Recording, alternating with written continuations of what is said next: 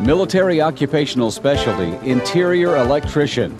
Electrical energy, the driving force behind today's United States Army, must be harnessed and safely distributed for the Army's needs. For this MOS, the Army will train you in interior electrical systems that carry up to 600 volts, training that will begin with an overview of electrical theories and power formulas, plus the study of construction drawings. You'll also train on 10 kilowatt generators to include preventive maintenance, adjusting speeds, distributing power via cable, and attaching critical grounding conductors.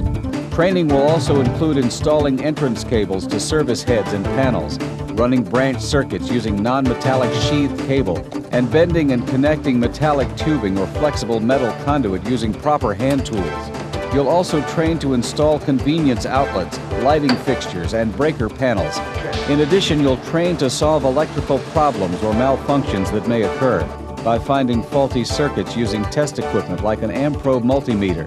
Throughout training, you'll install electrical systems according to military standards and the National Electrical Code and be reminded constantly of the critical importance of safety. Additional training will include constructing barbed wire obstacles, laying and breaching minefields, and building shelters to protect yourself and your equipment. After your initial entry training and advanced individual training, you may work long hours in the field, day or night, where your duties may be to install electrical fixtures, repair electrical systems, or assist carpenters, plumbers, and other trade groups during various phases of construction. Serving in this MOS can help you transition from the military to the civilian employment sector. So if you understand the hazards of electrical work and like working with your hands, join the men and women in military occupational specialty, interior electrician.